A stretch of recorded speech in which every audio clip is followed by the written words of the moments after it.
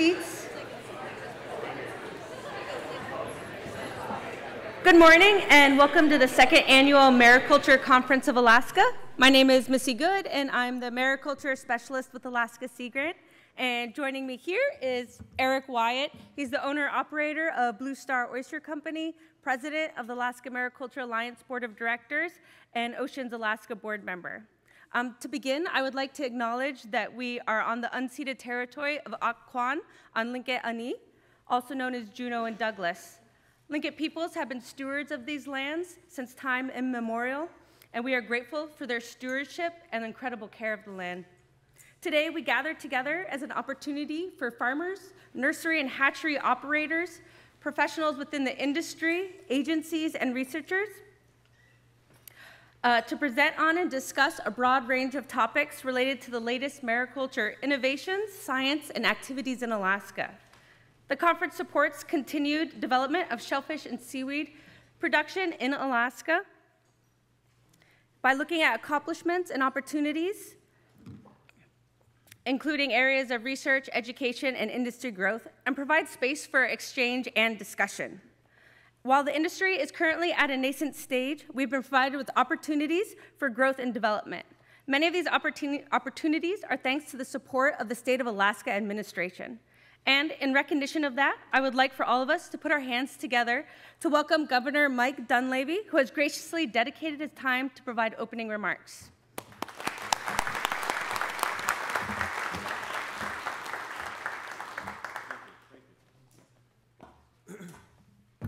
Good morning, everybody. It's exciting to be here. I was looking at the, um, the agenda, and um, I almost feel like uh, canceling the rest of my day and just stay here with you guys. Um, Anyone here from Maine? Um, hmm, no, I'm kidding. Um, we have a lot to learn from each other, and obviously um, Alaska has a tremendous opportunity. Anyone from Oregon here? Ah, there you go. Okay, pretty good, pretty good. So it's my goal, and folks from Maine and Oregon don't take this personally, but it's my goal to make Alaska the mariculture capital of the world. Um, in any event, um, I'm glad you're here. I'm glad we're all sharing information and we're learning from each other. Um, this is a tremendous opportunity, I think, for a lot of folks in a lot of locales. It's another way to feed people. Um, it's another way to get food into restaurants as well. And um, where we're headed, I think, is going to be a place where you're well positioned to help uh, a, a, lot of folks and a lot of entities. Um, you know, I'm going to be excited about hearing uh, about your, your SPAT capabilities. We were just talking about that. I know right now we import it because of our, our situation with our cold water here, but any and all, everything associated with mariculture, everything from spat to oysters to different types of shellfish that you feel are, uh, are appropriate for the water here, and also the kelp. And I just want to talk briefly about the kelp, uh, the kelp situation. So obviously, some of you have heard about our initiatives on carbon. And um, you know, carbon is a reality. It's a, it's a commodity now to be monetized. And there's some tremendous opportunity in carbon for, for Alaska, for Alaska mariculture uh, uh, owners um, and proprietors, as well as those that uh, want to grow kelp to sequester carbon. It's a new approach. It's a new process. They're still getting some of the, uh, bugs worked out of that, but with our extensive coastline, it could be tremendous. And our contribution to that, uh, that initiative, I think, is, um, is, um, is huge. Also, kelp to feed people, obviously, is, is, what a lot of kelp is being grown here in Alaska right now. But there's also kelp for, for fertilizer, for animal feed, uh, uh, poultry feed. So it's, it's, to me, I'm excited about what you're doing because we're trying to uh, make Alaska as food secure as possible. Grow as much stuff here in Alaska. As I mentioned to you guys at one time, during the pandemic, it was March of 2020 when I was sitting at my desk in Anchorage, kind of the height of the beginning of the pandemic. And we had gotten wind that um, uh, the governor of the state of Washington was contemplating uh, shutting down the port of Anchorage. At that time, we had demand destruction in the airlines. People were not flying, didn't want to get on the plane. Canadians were shutting down the overland routes. And to get word that there's a possibility that the port of Seattle would shut down just paints a whole new picture and brings clarity to a whole lot of things we have to fix in Alaska. And one of that was food. So the idea that if we can grow as much food here in Alaska uh, is something that I support 100%. And you'll see that in our initiatives, our policies, our budgets. Um, many of you know that we have a 140,000 acre um, agricultural project up in Nenana that we're looking at in expanding and getting that in the hands of farmers. My goal before I die, hopefully that won't be soon, is um, to, to, to see Alaska as an agricultural giant. I was on a conference about a month and a half ago with a very large land company whose job is to broker farmland across this country with investors. And uh, it was out of Des Moines, Iowa. I was doing a Zoom.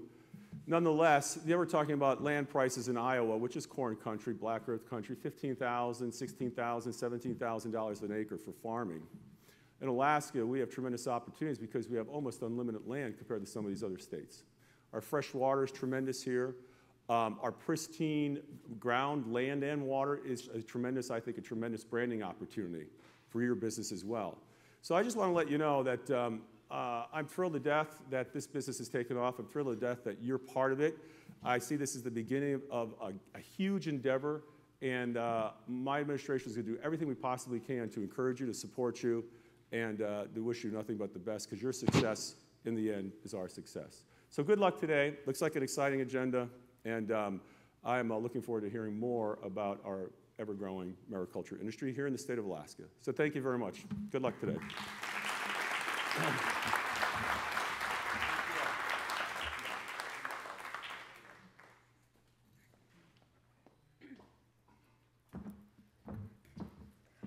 Uh, thank you for those words and the tremendous support you have shown for Alaska and the mariculture industry.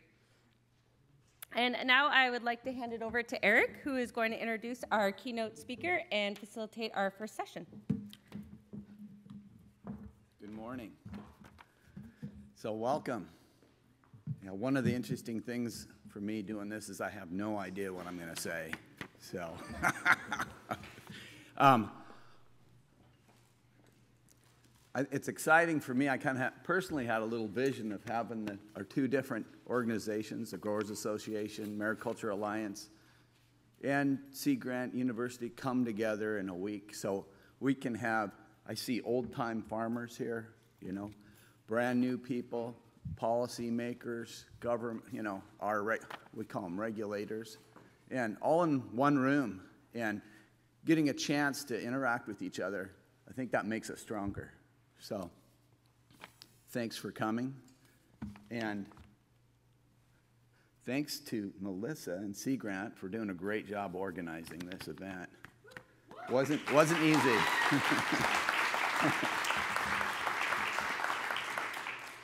so, Dana, come on. Um, years ago, I, couple, several different times, I've reached out to um, Dana, and he's you know from I'll say Sea Grant in Maine. Um, I think a known expert in my mind on a couple more uh, technical issues, and then I've heard from other folks from Maine, you know how connected he is. As I find out now, he's got his own farm too. You know, to boots on the deck, and let's say research policy, what's going on, and he's going to have some great examples for us, and I'll let you introduce yourself much better. Thanks for coming. Thank you. Hi, everybody. um, I've never done a keynote uh, sort of thing before, so I'm a little nervous. Um, uh, and I will muddle through as best I can. Um, and thank you for the introduction. Eric, it's so nice to meet you after all this time. Um, thanks also to Missy and the whole Alaska Sea Grant uh, team, and particularly to Weatherly and Greg Bates for reaching out and this opportunity to begin with. Um, it, it's already been worth it, at least for me, spending an hour talking with growers and people who I haven't met yet or hadn't met before or hadn't seen in a long time. Uh, it made a pretty grueling travel day yesterday worth it right off the bat. Uh, so yeah, my name's Dana Morse. I'm an extension agent for the Maine Sea Grant Program and University of Maine Cooperative Extension. Um, I started in 1998, and when I started, I looked around. There was a bunch of basically old white guys in the job, and now I'm one of those guys. And I, I think it's because uh, they all loved their work, and I have loved my job every second of it right from the get go. So I'm really glad to be here. Um, and I'm going to try to give a sense of why Maine seems to have a little bit of a buzz about it. Um, and I'm not sure I can do it completely justice because I feel like some of those things are real intangibles and they're really hard to put into context. But I'll do my best. Um, and Missy, I'll look at you for a high sign or like poke me in the side of the head for time. Or are you the timekeeper? Yep. Hi, thanks. All right. So um, I'll dive right into it. The first few slides are kind of like setup stuff. I want to uh, give some context and then hopefully some functional, concrete things about why Maine seems to have a buzz. Um, so the cover shot is a New York Times story. There have been plenty of people who like to come up to Maine to do stories. I don't know why. Um, and this is one of them. Um, but it just kind of goes to the point of people are kind of taking notice. Um, so here's Maine, um, top right of the lower 48. Um, and these are some of the things that we're famous for, I, I think. Uh, we've got big mountains, we've got lobsters, we've got uh, a good coastline. We have mooses, we have trout and salmon, we got a lot of black flies. It's like Alaska's little brother or little sister, right? Like I got thinking about, well, our mountains are much smaller and our meese are much smaller, and the only thing that we have that's different maybe is we have a really big boot and we have moxie. Um, yeah. um, and so those are maybe some separating things, but that's where we are. Um, the state uh, has about 5,000 miles of coastline. It's highly diverse from one end to the other. It goes from south and west to north and east. So you go down east, um, and there are about 10,000 commercial fishermen of different types. A lot of challenges with um, access to stocks, access to licenses, climate change, all kinds of things. There's a lot of gentrification happening, happening along the coast, and there's a lot of uncertainty. Um, and maybe some of those things are, are familiar here as well. So, a little quick overview. They, they always say, tell them what you're going to tell them, tell them, and then tell them what you told them. So, I'm at least going to do two of those things here. Um, I want to cover a little bit of this stuff. I'm not going to dive too far into it, but here's the, whoops, here's the proposition. Maine seems to be getting noticed. So, why is that? That, that I feel is like my job here. Um, so, there are some things that are inbuilt, which um, uh, some might translate to here, some won't. Um, and those are these items up here. We've got a long coastline. We have a working waterfront tradition. There is 400 years worth of boat building knowledge there, for example, and understanding the environment. Um, something that is different than here, we have a, an inbuilt proximity to the marketplace. And the, the saying goes where 24 hours truck ride to um, Chicago and east and Atlanta and north. So that's a real benefit for people who have understood the Maine brand and want to grab a hold of some Maine uh, seafood. We have environmental suitability for many species. Um, and then there's this other list here, and you can read it for yourself, but the ones I'm going to touch on mostly are the uh, regulatory process where I think it all kind of starts, um, the extension, education, outreach, and training, the culture of inclusion and information sharing, and the bit about sound business fundamentals to help make businesses work. Um, let's see here. Which way do I point it? Okay, so just a quick shot of Maine, and I put this up here again to show some of the geographic diversity.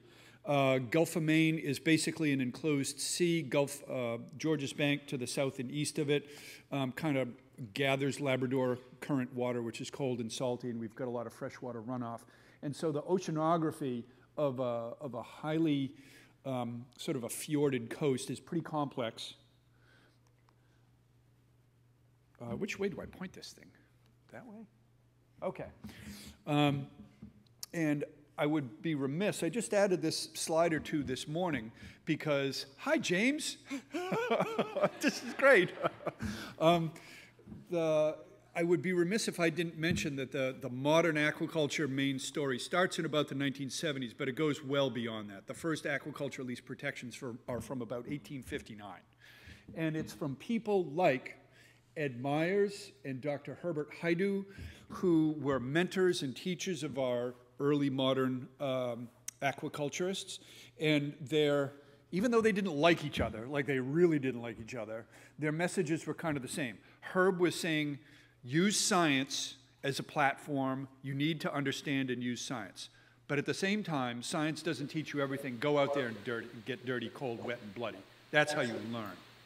Ed was coming at it from the other way. He was an entrepreneur. He said, you need to have a business. You need to think about market and uh, customers and process and profitability.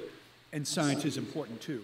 And these guys worked about 400 yards from one another, where I work now at the Darling Center. Um, and I wrote a poem about them, which I won't bore you with, but the dynamic between those two guys was just great. And I'm looking at Joth Davis now. Maybe you and or your brother know some of those stories, but there's a book right there. Anyways, they set a lot of the foundation, and many of our early entrepreneurs who became iconic in themselves studied with uh, these scientists and business people. And the thing that I'll say here is that, and my background is in commercial fishing, shellfish aquaculture and particularly and now seaweed aquaculture, these businesses and these industries emerged like this with science. New growers either came from science or they understood the value of science and its limitations. So this industry, shellfish and seaweed, emerged very closely with science's support um, in helping to answer questions. Now, my background's in commercial fishing gear design, uh, and that put me into conservation engineering and that kind of stuff. The commercial fishing industry in New Hampshire is 400 years old, and it did not go like this. It, the commercial fishing industry uh, went its own way, and science kind of came in side, sideways later on. And of course, there are many, many uh, disputes and arguments between science and industry. Aquaculture is always going to have some of those disputes, but it's in a much better position because, in my view, shellfish and seaweed evolved right hand in hand with using science as a tool. So, okay.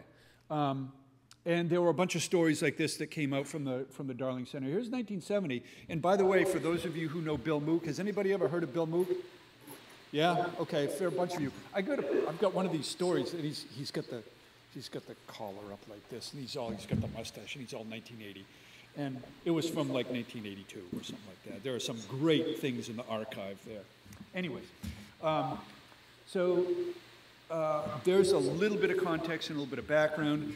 I'll say that uh, we grow a fairly sizable number of species currently.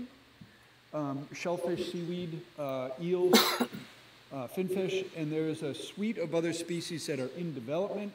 Um, and here are some rough statistics about what's going on in the state. And I would say much of this activity has happened in the last 10 years or so for some reasons that I'll get into later. Um, and this is one of the principal drivers. Is anybody scared by this graph? yeah. This graph is scary because we've got 5,000 lobstermen. And when I say lobstermen, I mean men and women, and that's how they like to be referred to there, and their families. There are entire communities that are dependent still on lobster. And when you have entire communities dependent on one source of revenue and you have climate change and market and increasing bait and fuel, it becomes economically very nerve-wracking. And so uh, for us, um, a lot of the work that we do is driven by wanting to diversify and add opportunity. Because you can't just go and get a groundfish permit. You can't just, there's no shrimp fishery anymore. So opportunities are limited. And now to dive into brass tacks, one of the, the essential things why I think Maine is, has been uh, noticed, and this goes back a number of years, is that the regulatory process is pretty good.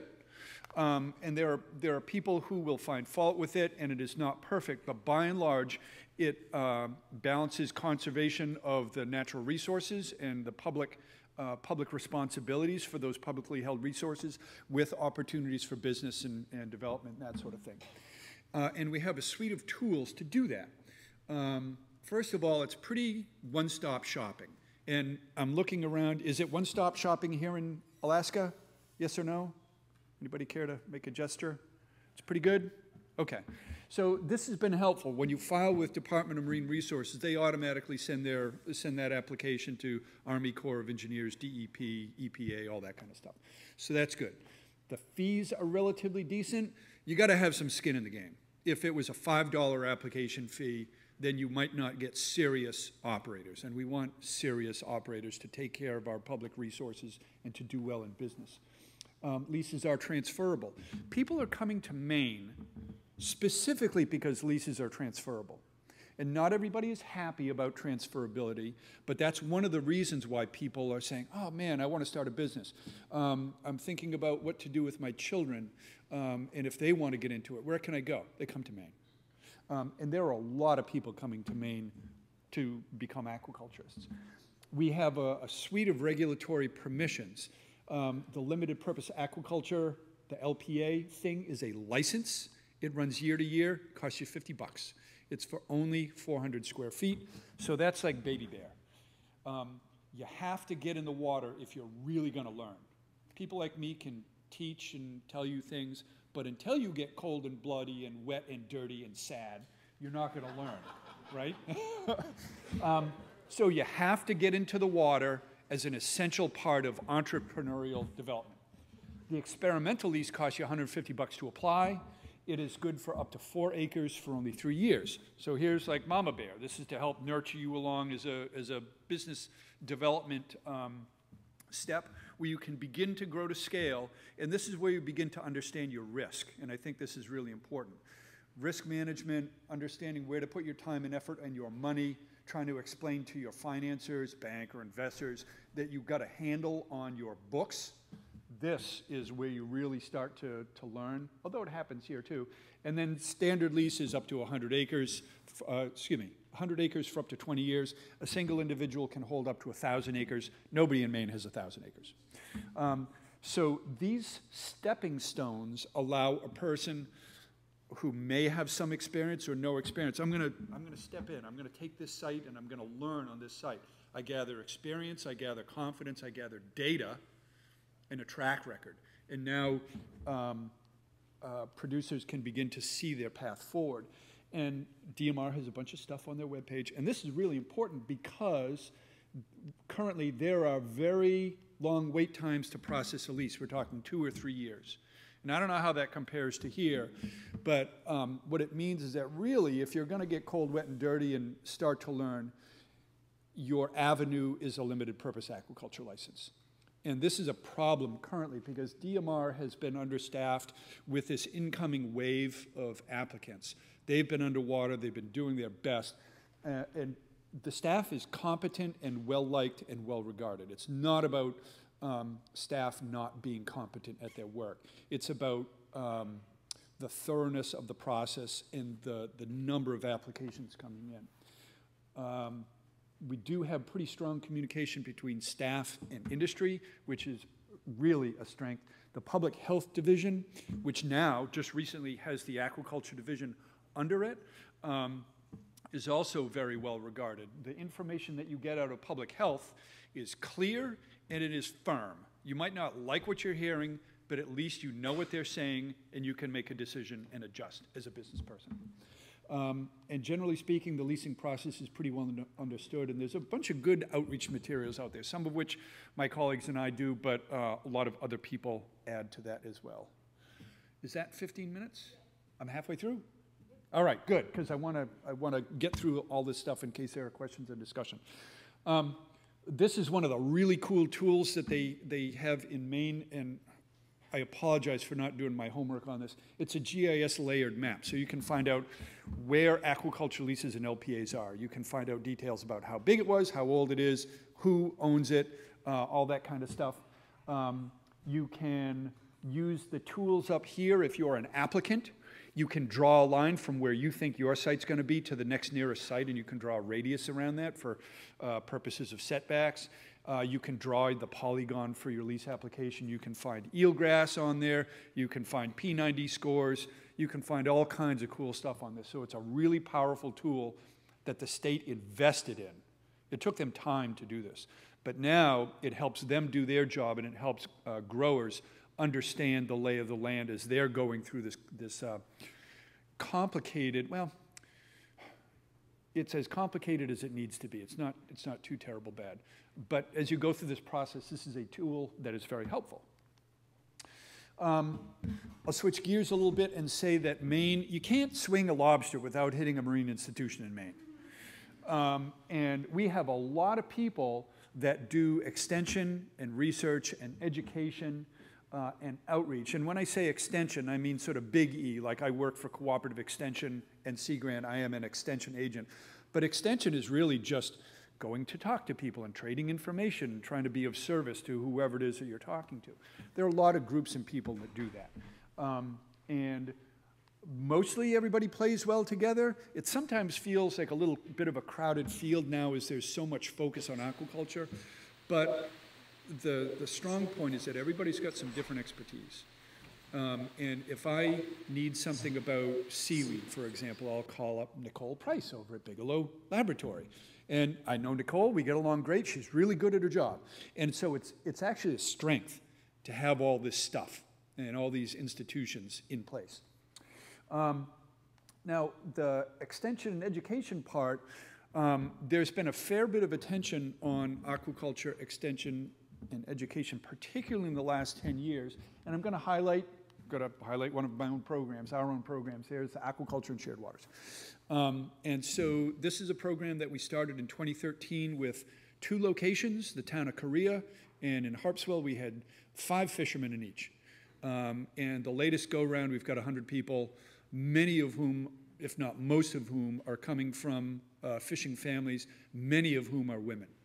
So we have increasing diversity in our uh, new participants, and that's by design. So it feels good that, that we're making some headway there.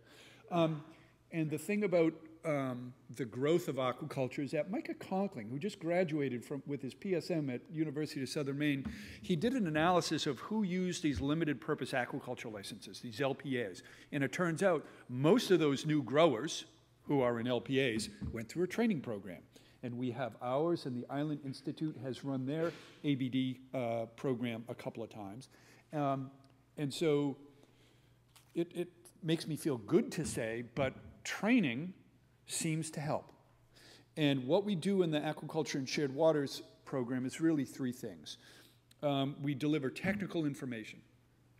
People need to know where to get gear, where to buy seed, um, how the leasing process goes, how to get your product on the market, all those details.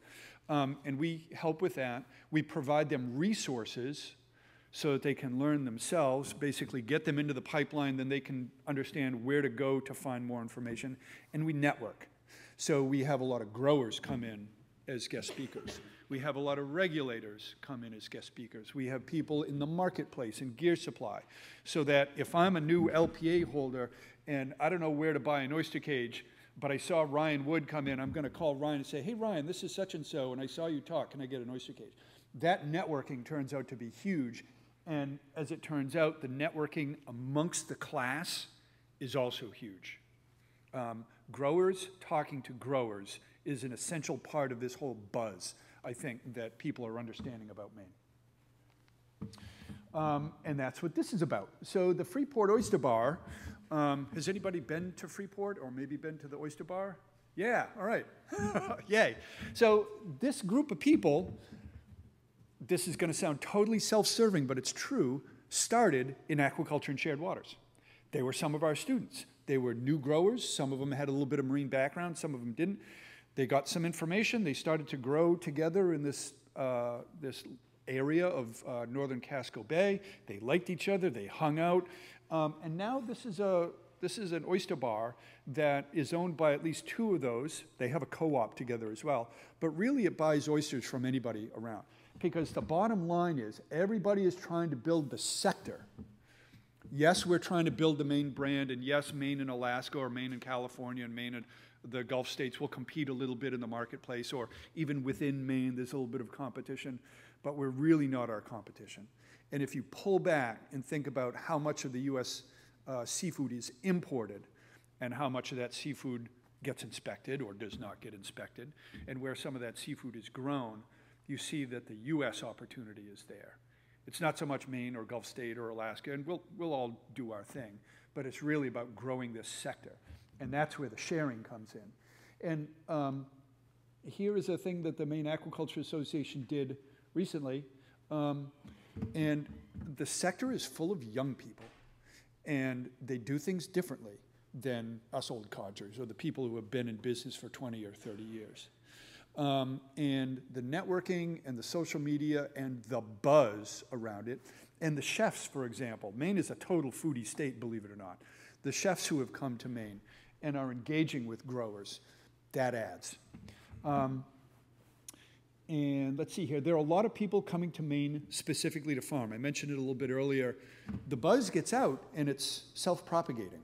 Oh man, I'm in Massachusetts. I can't get a grant. I really want to grow oysters. Been wanting to do this my whole life, or I just learned about it and I want, I want my lifestyle. Where the hell can I do this? I'll go to Maine. And that is happening. Um, I think the last couple of things that I'm going to touch on here is that we focus on business because if you want to have a good lifestyle, you need to make a penny more than you spend. We spend a lot of time in the Aquaculture and Shared Waters program on business and business development. Um, we create tools for um, managing businesses. Lots of other support tools are out there. And if you're a grower and if you're not familiar with this or the paper version of this, then you need to be. Um, because, again, a, a business needs to thrive and survive on its own. And I'll be a little bit provocative here and say that Maine certainly has had its share of um, private and public investment come in, and that goes so well. But if you want real surviving businesses, they're going to have to wean themselves on event, off eventually and survive on their own. And that's the bottom line. So if you want businesses here to survive, they need to succeed in this element of the business as well. Um, and there are a lot of support institutions around the state that help um, entrepreneurs uh, innovate with, a, with different ideas or grow their businesses. Um, and of course, we have the people. So here's Carter Newell. I know Carter's been to Alaska before. These are his submersible mussel rafts. Um, we have people like Bree Warner and Pete Ron and all the other people at um, Atlantic Sea Farms, and they've done all kinds of innovation, not only their business model, but the products that they're growing. Um, Eric Aransky and Willie Leathers, they um, heard, uh, they really hated plastic. Everybody hates plastic. It's just that it's functional and it's affordable, right? So they connected with a European company. These harvest bags are made out of beechwood, and they will compost in your compost bin in three weeks. Um, so now you don't have a polyethylene bag that gets used for approximately eight and a half minutes and goes in the trash. So um, new, new products. Um, Marsden and Bob Brewer, who I've been working with for 25 years on sea scallops. If you really want me to talk your ear off, let's talk sea scallops. You can't get in the lower 48, there's maybe one bit of the offshore fishery where you can get a whole live scallop. It doesn't exist, but these guys can do it because they're farming them. Uh, and those are some of the reasons why Maine is happening. Thanks.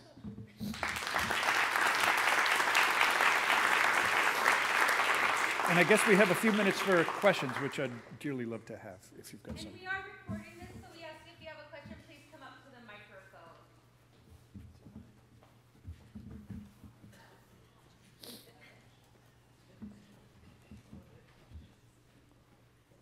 So, um, I'm an oyster grower in Prince William Sound, and your entry-level permitting, are those commercially viable oysters that they're, or shellfish that they're growing on those little lots? And also, what do you think you have a percentage of those that go, like, what percentage of those people or those farms go to the next level? Yeah, it's a, it's a really good question. Um, the LPA, 400 square feet, is probably not commercially viable just for one, but an operator can have four to their name and can be uh, participants on eight others. So you, you kind of smush that together, um, and then you've got a viable operation. And there are plenty of businesses around the state that are, that are at least on their way to financial viability using LPAs. Um, and where your question comes in, I think, is that really scary point where you've, you've got your production down, you've got your operations, you've got your markets, you've got your spreadsheets, and then you've decided you have to make that leap. First of all, you have to wait for a long time to get your lease. So that's is kind of a scary time. And then there's that, that leap where you have to devote all of your time to your farm to make that scale happen. So that means you, your kind of gap financing has to be in place because It's going to take a while for your oysters to grow. Um, and that tends to be a place where people get pinched. Um, is that hobby scale, I'm generating some income, enough for me to reinvest in the company, but I can't live off it. So then you have to make that jump, and that, that turns out to be a kind of a pinch point.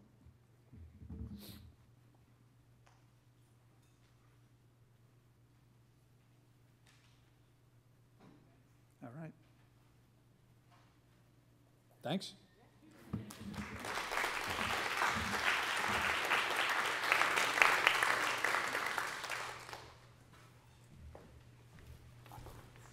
I found your presentation amazing. There are so many similarities that I see and lessons we can learn, and things that we're doing that are similar.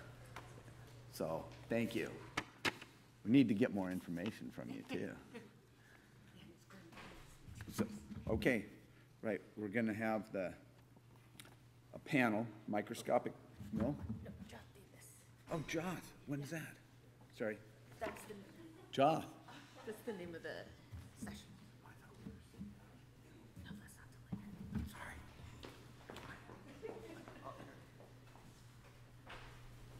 Right. Yes, thanks for joining us. My pleasure. Yes, uh, well, Joth has, yeah, a long history, but listed with, now with Pacific Hybreed and your own shellfish farm. Right. So, welcome. Thanks, Eric. Uh, Let's see, we'll wait for that to load. Thank you. I really appreciate the opportunity to- to be here. I've- I've never actually been to Juneau. I've spent a lot of time in Alaska, but not here. It's really cool to see growers in the room. Um, I've been a shellfish grower for um, about 33 years. Um, We have a shellfish farm on North Hood Canal in Washington State, and we're waiting for my talk. Um, But uh, we, uh, we also got into kelp about six years ago, so now we're raising sugar kelp um, in, again, in North Hood Canal, different farm site, um, and that's been super exciting, and we've done a lot of work, and that's not what I'm going to talk about this morning, but happy to talk about it as we, um, as, as, as, as you wish into the meeting. So, um, I'm going to talk a little bit about breeding, um, if I can make this work. Um, I, uh, other than Baywater, which is the shellfish company, um, I also co-founded um, Pacific Hybreed with Dennis Hedgecock, a uh, University of Southern California professor, about six years ago. And what we do is, hold on, direct me. Ah. Which one? Oh, that one, thanks. There we go. Um, what we're trying to do um, with um, Pacific Hybreed, I'm going to just basically give you a, a brief overview. We're going to talk about really challenges, and this is why we started the company, um, was really how to address climate change in an era of rapid change and, and, and, and, and you, focusing on shellfish and how to grow shellfish during a period where, where essentially the waters are changing. And we believe that we can, ad- ad- at least in part, adapt to climate change through a breeding approach. And um, we're using genetic approaches to, um, based on a process called crossbreeding to increase yield and uniformity in, in Pacific oysters currently. So this is a couple just quick slides. This is how oysters are reared in, in, down in Washington State and along the west coast. Um, single or cultured oysters are grown on bottom, for example. They're also grown in suspension culture up in the upper left, which would be most similar to um, what's going on up here in Alaska, if not tray culture. Um, so different, different styles of, of shellfish aquaculture. And so the question becomes, we have a, we have a changing environment, and how is that going to impact um, growing shellfish, and not just oysters? So you can think of a, a bunch of different, a group of different stressors, hypoxia, food availability, harmful algal blooms, pathogens, extreme heat at low tide, changes in freshwater runoff, ocean acidification. These are all potential stressors that have, all have the potential to increase during a period of rapid climate change and in places where, um, where we are farming oysters on the west coast. Just as an example, ocean acidifications. Lots been written about this, a lot of study. Um, this is the famous uh, Keeling curve graph um, showing atmospheric carbon dioxide increasing rapidly. It's well beyond um, 400 now parts per million. What that does is it increases the solubility of carbon dioxide in seawater, which drives levels of dissolved CO2 up, and that drives the pH down. Um, and that's what I think, my, in my view, we're seeing the tip of the iceberg here in terms of what, where ocean or coastal acidification can, is, is going to be going in the long term.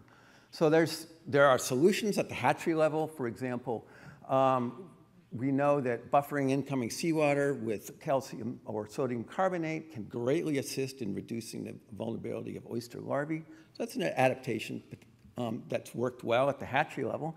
What it does to, um, in the long term, don't know.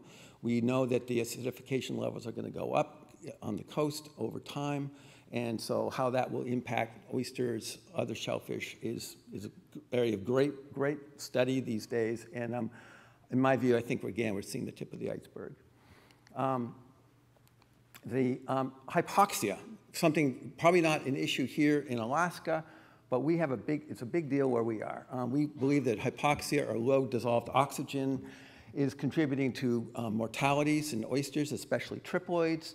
Um, these oysters sit in cages all day long and or in the, in the, evening, in the evening and at particularly low tide when the seaweed on the, on the beaches are is respiring, dissolved oxygen can, dry, can go way down. And that, we believe, is, can be impacting oysters. So having oysters resilient to, to dissolved, to low, to hypoxia is a real priority. Um, so what we've done is, I'm not sure pointer or not, we have dissolved oxygen meters here and here, off bottom, on bottom, to measure these things. So we're doing that now to see what the actual impacts are. Um, Let's see. Um, extreme heat at low tide, as most of you know, we had a heat dome here um, in the Pacific Northwest several years ago where we actually saw um, in June of 2021, uh, we measured the temperature of 101 degrees Fahrenheit on our beach, okay? That resulted in significant mortalities of oysters, especially native clams and native mussels. Um, and this was all written up um, with a Washington Sea Grant publication recently. So that's a big deal. Heat, heat dome events are new. Um, haven't had those. And so, again, um, climate is, is, seems to me at least to be the culprit here. So we decided, um, Dennis Hedgecock, Hedgecock and I decided to form a breeding company. We're utilizing a, approach called crossbreeding to in, basically increase resiliency and um, and what we, other, what we believe are other traits that are important to growers. And now, as I stated earlier, I'm a grower. I really care about, I've been on the tide flats for 30 plus years, and I really, it's really important to me. The opening photograph was my son um, operating the farm, and it's, uh, we are now second generation. It's really, really important that there's a resource for them, for him and his family to be able to have the advantages that I did um, growing oysters. So we're using we're using an approach that I'm showing a slide of corn. That seems crazy. But actually, the, the underpinnings of, of, of hybrid vigor were all established with corn many, many years ago. And so basically, the idea here is that um, crosses of, of corn, these are inbred lines of the same species. When you cross them, you see this phenomenon called hybrid vigor, where the V by A and the A by B outperform either inbred line. And believe it or not, this approach works with oysters. Um, and the, it's often, and I want to just quickly um, um, compare it to selection programs, which is the other approach for improving um, stock traits in animals and plants. But the issue for, for me, for us, in our, in our belief, is that um, selection is based on basically breeding the, the, the high performance for a given trait and breeding those to, to create more of that, of that particular um, line over time. So you are continually breeding the, the, the better performance, performance to get where you want to get, get, go. Crossbreeding is different. Crossbreeding, you create inbred lines, okay, and I'm going to go through that very briefly. And then when you cross particular inbred lines together, you get what you can get a phenomenon called hybrid vigor, where the mean of the of the hybrid is higher than either mean of um, the, the parent inbred lines. And uh, this will hopefully make some more sense in a moment. So the problem with selection can be that it's limited to the number of traits that you can actually select for. And, and if you focus on one trait and you don't bring in new animals, which reduces your selection potential, it can lead to inbreeding, inbreeding. Whereas in the case of crossbreeding, you can actually evaluate multiple traits on, on a tide flat, for example, at the same, same time. But it, it absolutely requires having a great many lines to evaluate at any given time. So that's the focus of Pacific Hybreed. We're, we're trying to generate a lot of different lines. And the reason for heterosis is this is work um, that Donald Manahan's lab down at the University of Southern California is focused on. Basically, um, in, larvae at least, we know that hybrid larvae are just better feeders than inbred, inbred lines. So there's a, there's a mechanism for why um, the heterosis is actually occurring in, in Pacific oysters. So we started um, a laboratory um, hatchery. This is in Kona, Hawaii here. Um, we, we operate out of shipping containers um, at NELHA, just near, near the airport in Kona. And what we're trying to do, we have a full-on um, hatchery um, laboratory facility where we have capacity right now for growing 50 separate lines of, of genetically distinct Pacific oysters. or other shellfish. We have the algae to feed them, and we have the Mother Nature to provide a lot of sunshine um, for a lot of the, most of the food that we will need to, to, to uh, have to, to be able to um, generate what we're doing. Um, so that's super important. Um, very briefly, um, what we have is a pipeline of crosses that we will, we will do annually. Um, what we, we create different, basically different pipelines of lines. G0s are these wild male by wild female lines. We actually raised them up. They were reproductive. We made a mother, a brother with a sister. That forms what we call an inbred line. And then we mate all the inbred lines. This is the, this is the mechanism. This is the, this is the duty. This is what we do as a company, is we mate then full factorial combinations of every possible hybrid combination. This diagonal in yellow, I think I've circled it, are all second generation inbred lines but these guys here, all the ones in white, these are the possible, possible lines that could do very well on your tide flat if you're raising oysters or, or in the water. And so those are the ones we wish to really focus on and test. And then once we find good lines, we will then make, take two, the two best hybrids and make hybrid by hybrid tests for, um, for double hybrid production. Okay, very briefly, um, corn, thousands, thousands of hybrid lines are tested annually. We're right now focused on aspirationally hundreds of hybrid lines um, focus. This is a, a, picture of our beach in last summer. What you get out of it, though, is cool. So these are, um, this was a, some work we did years ago, comparing wild to a hybrid line. Hybrids were about 40% um, larger after just one generation, super easy. Um, also, it's important to notice that reciprocals um, are different. 47 by 35, just is a line, it's a, it's a male by female combination. When you look at the alternate, or the 35 by 47, you see the, the 35 by 47 is much bigger. So it matters which direction the cross actually goes. So these are just little, little pieces. And then this is, a, this is a, the summary graphic really Additive genetic variation is what selection's based on. Non-additive is what crossbreeding is based on. And what we're trying to do is get the best of both. We, we use selection, but also the non-additive crossbreeding to identify is this yield on this graph here, that axis. We're looking for lines that do really well up in that part of the graph. And that's the whole angle that we have. So our goals, um, we're we are essentially a field testing company. We want to look at multiple genetic lines in different, in different environments. We want to look basically to try to produce seed lots that are resilient to a changing climate. We're working in Baja, Mexico. We're working in Central California, Pacific Northwest, of course. We're in, in Southeast Alaska. We've been working with Eric um, with some, some initial seed groups that he's been evaluating on his farm. Um, basically, we we want to be, provide a, a, place where pain points for growers can be hopefully resolved, at least through genetics in part. So our focus is decreased mortality, essentially, in diploid and triploid oysters where they're grown.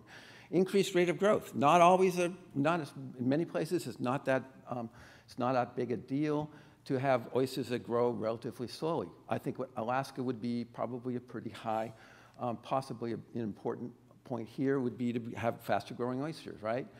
what we're finding actually amongst the industry, and this is reflective of my long time with growing oysters, is that actually what we see in hybrids is that there's increased uniformity within a seed cohort. So that seems really important to growers where you're having to grade and, and handle and bring back the ones that are too small, and come back and forth. So that's, that's a huge point for us. And so that's something we're really focused on. So again, we're using this um, as a way of looking at the different possibilities that, that are going to be impacting shellfish over the, over the long term and basically looking at multi, the importance of multi-stressor field experiments where you look at not only low oxygen, but you might look at low oxygen temperature together in synergy. How is that impacting oysters? Because after all, that's what's going to be hitting, um, hitting us as climate change unfolds. Um, and so uh, other strategies, we're, as I mentioned earlier, we're growing seaweeds. Um, we're combining, we have a um, New Zealand flip farm um, program in North Hood Canal where we're growing oysters in suspended culture. So there's a lot of different strategies. Um, happy to talk more about our seaweed work um, when, uh, if, you, if you wish to. And um, thank you so much for your attention.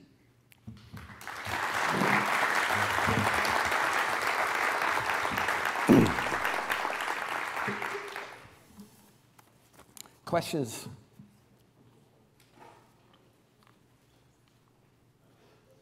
Yeah. Hi. Eric.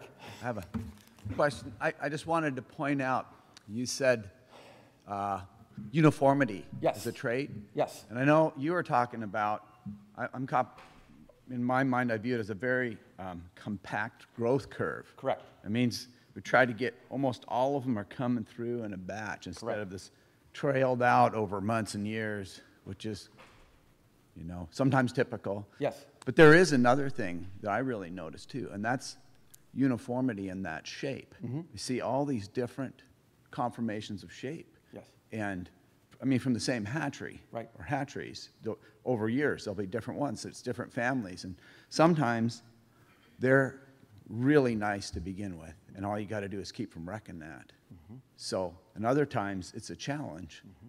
So, I think that's something to be looked at too. It, it makes it easier for us and easier, you know, to market a great yeah. product if it's kind of baked in to begin with. Yeah.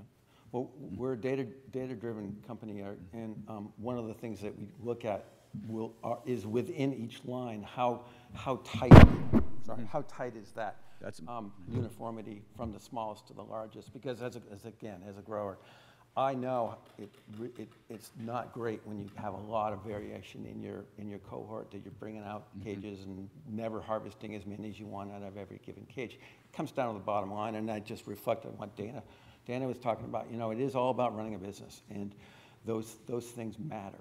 So um, that's, that's one of our main breeding goals, actually, is how to, is lines that have increased uniformity. They may not even be the fastest growers, um, we hope they survive well, but uniformity is a big deal. Thank you. Yes, Paul Fuhs, and I really appreciate your work. I just uh, wonder, is there any risk of this uh, being called like a genetically modified organism? It's obviously like a Franken oyster or something like that. And uh, the other thing, I, it wasn't clear, can these hybrids continue to propagate, or are they like a mule? They can't. Would they be used as brood stock for further propagation? Great, Thank you. great questions.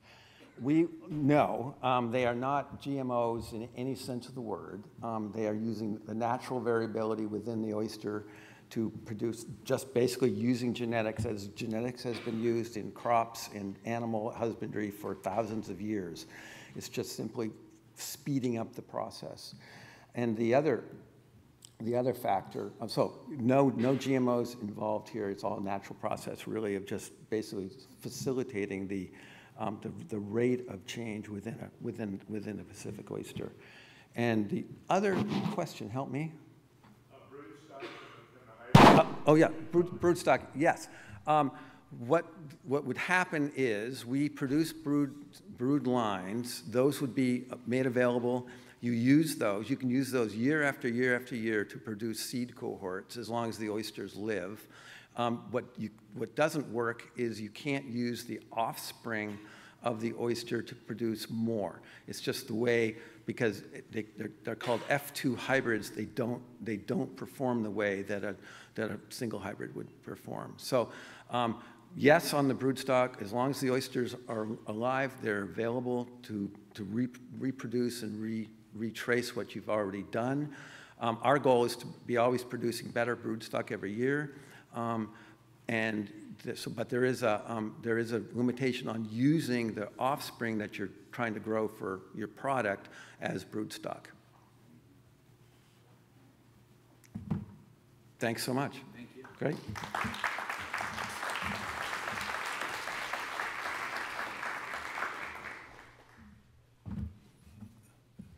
Paul, I think the word that I would like to use that refers to this is in their name, Pacific Hybreed. It's breeding.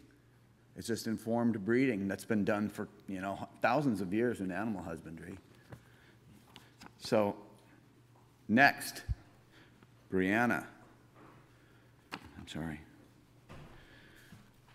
Are you here? Briana Murphy? Yes. Oh, there you are. So, a couple of years ago, you reached out to, to me, come on up, with, and yeah, have an interesting project. Still in Seward, right? Um, sort of. We're mobile. Started in We'll Seward. get into that. Yeah. Anna Sainer, On a tender. tender. Tender vessel. Let's tell us about it. Welcome. Thank you. I will. uh, good morning, everyone.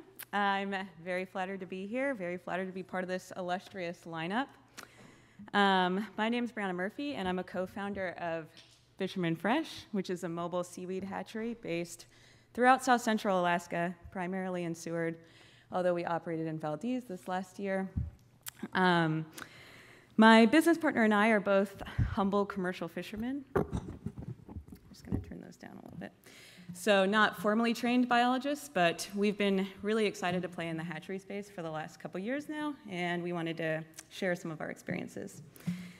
So, just to provide a bit of context about where we're coming from, uh, Kristen and I are both originally commercial fishermen. We met through commercial fishing. I grew up fishing with my family outside of Whittier. Kristen has been running seiners and other boats throughout Alaska since 2008. And that dependence on the ocean for our livelihoods was what first triggered our interest in seaweed farming. I imagine that's the case for a lot of people here. Uh, and so in 2000, in spring of 2020, we decided to invest our time and resources in the long term health of the oceans, and we founded Fisherman Fresh as uh, originally just intending to farm kelp. But while we were waiting for approval for our farm site, there were several major industry bottlenecks that became apparent to us. I'm sure everybody here is also familiar with those hurdles. But one of the biggest hurdles involved hatcheries. So when we applied for our farm in 2020, there were only three licensed hatcheries in Alaska to support 30 permitted farms, and there were an additional 25 farms in the permitting pipeline. And so the disparity between hatcheries and farmers and interested farmers was obviously aggravated by Alaska's strict collection regulations, which require really close relationships between hatcheries and farmers. And so, as we learned more about the industry and about the 50 50 rule, it became clear to us that scaling up for farms, specifically in the south central region, was going to be difficult if source tissue and seeded string had to be shipped and flown all around the region. So these sort of limiting logistics around moving seeded, to, uh, string and source tissue were the catalyst behind our mobile hatchery design. And in spring of 2021, we received our permit to start a kelp hatchery.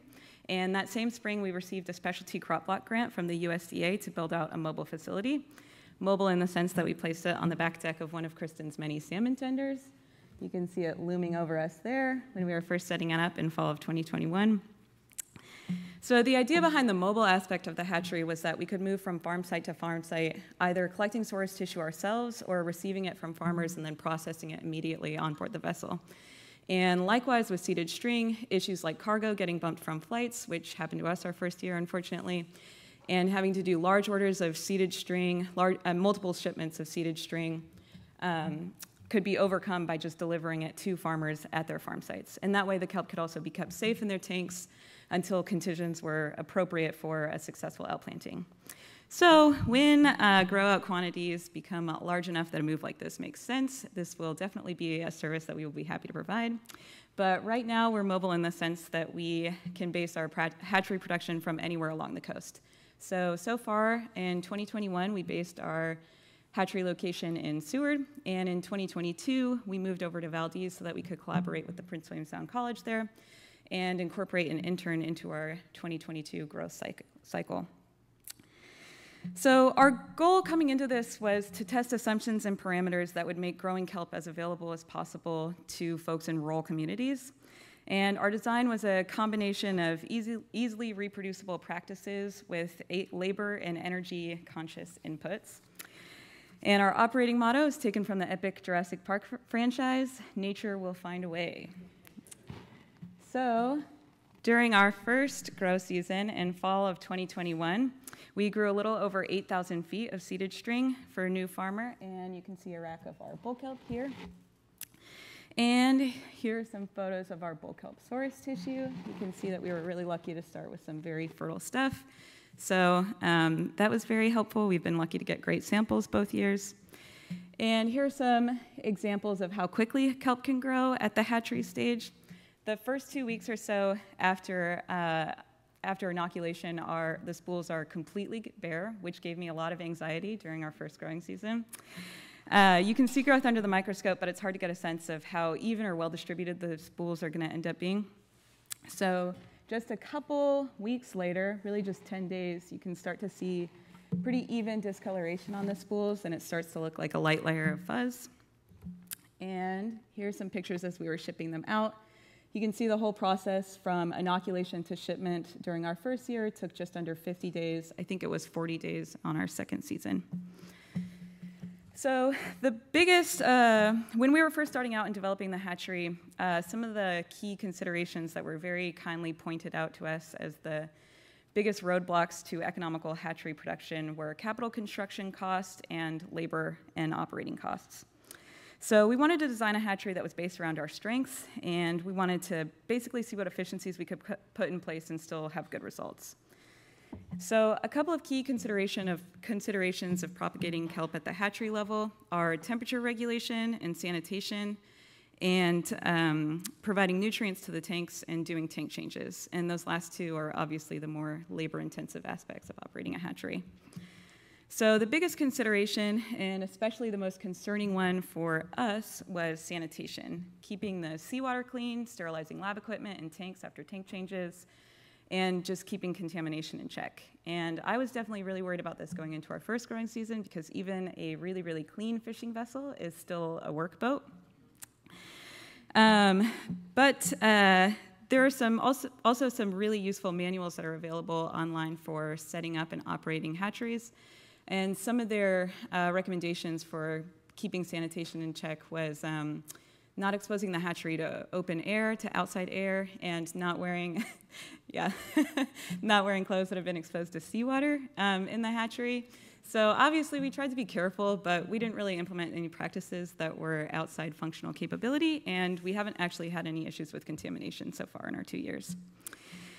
So our first year, we pulled our uh, seawater directly from our fish hold, and to sterilize the seawater, we just had three sediment filters in line with a UV sterilizer. The sediment filters sterilized our water down to 0.35 microns, and then the UV sterilizer just ensured that everything going into the tanks was fully clean. Um, the UV sterilizers, we do the same for the effluent as well. But the UV sterilizers were definitely our biggest single expenditures going into it, but obviously worth it to make sure that you're starting with clean water.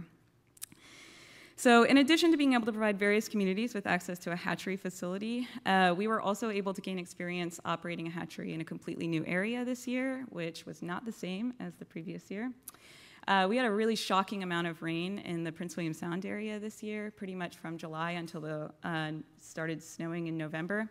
And so all that influence in freshwater runoff meant that we had to pull our water from about 15 feet below the surface of the water, whereas the previous year we'd pulled our water from just five feet below the water surface.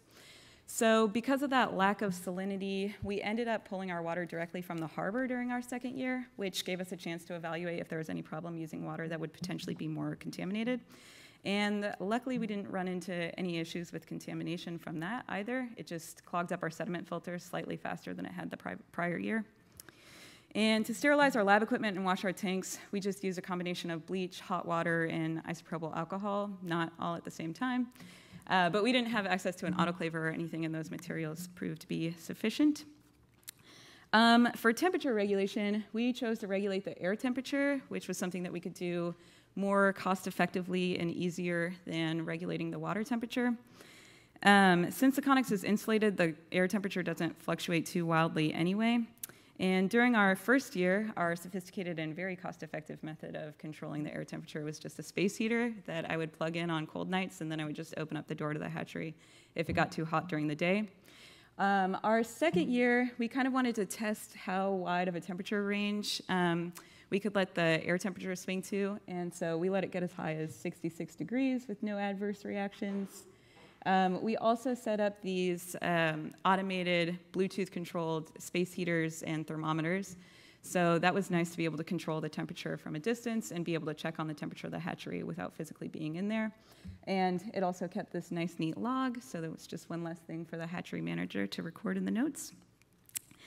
Uh, we've also tried a variety of different nutrient combinations, and after two years, we weren't really able to tell any discernible difference in. Um, in either how quickly or how well the kelp grew. But again, we weren't really running these experiments in a very controlled lab setting, more just kind of testing to see what efficiencies we could put in place um, and seeing either if we could get the kelp out more quickly and lower operating costs that way, or lower costs in labor and materials.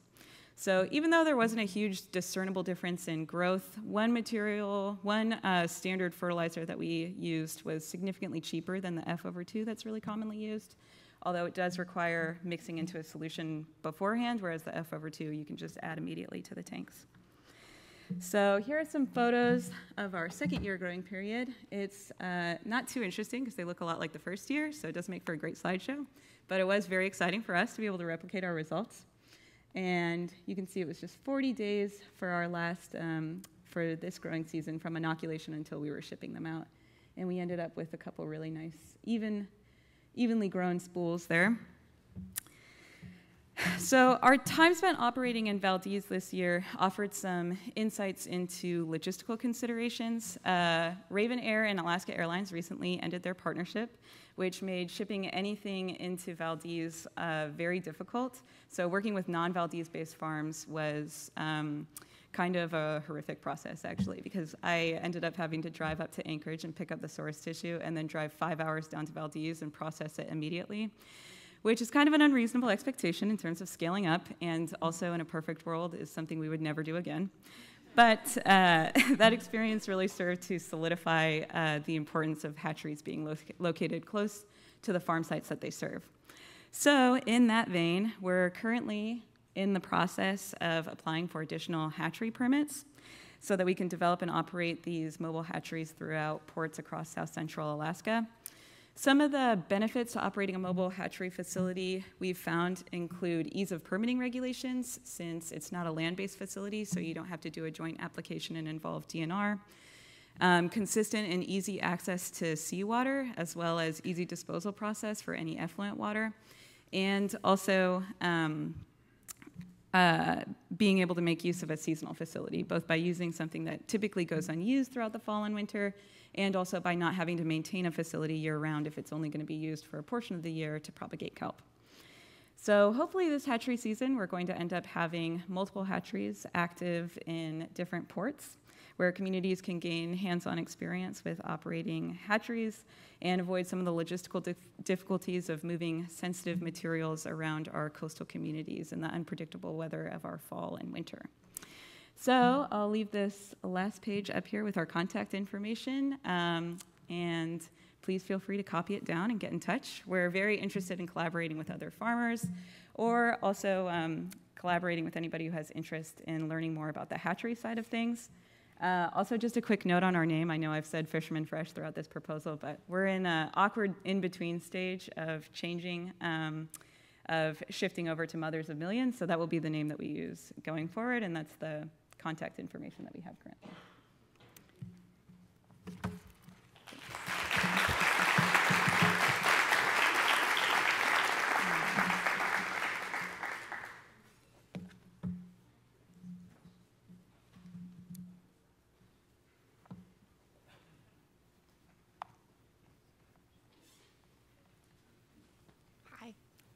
Great talk.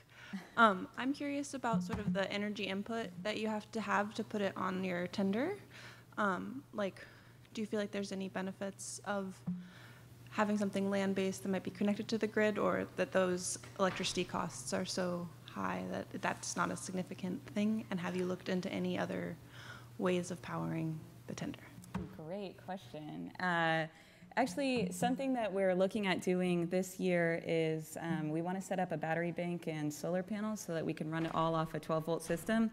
Um, the boat was hooked up to shore power, so we weren't running a generator or anything. Um, and it, the whole hatchery ran off just one breaker. So setting it up on a 12 volt system wouldn't be uh, difficult at all, and that's something that we plan to do going forward, just to make it totally energy independent. Uh, thank you. If there are no more questions.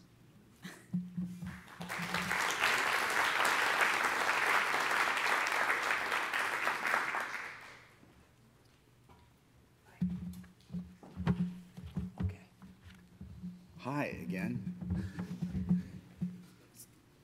One of the, I guess, concepts that Briana and her partner were exploring is, uh, you know, season out, using, having a facility, yeah, right, that's used for a season and used for something else for a season, and that's one of the things that we are doing at Oceans Alaska too, um, which is unique. So how does this work?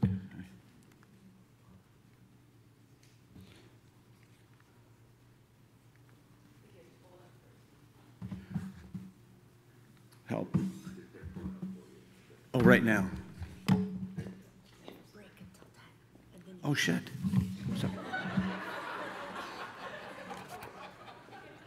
9:40, break until 10. See you later.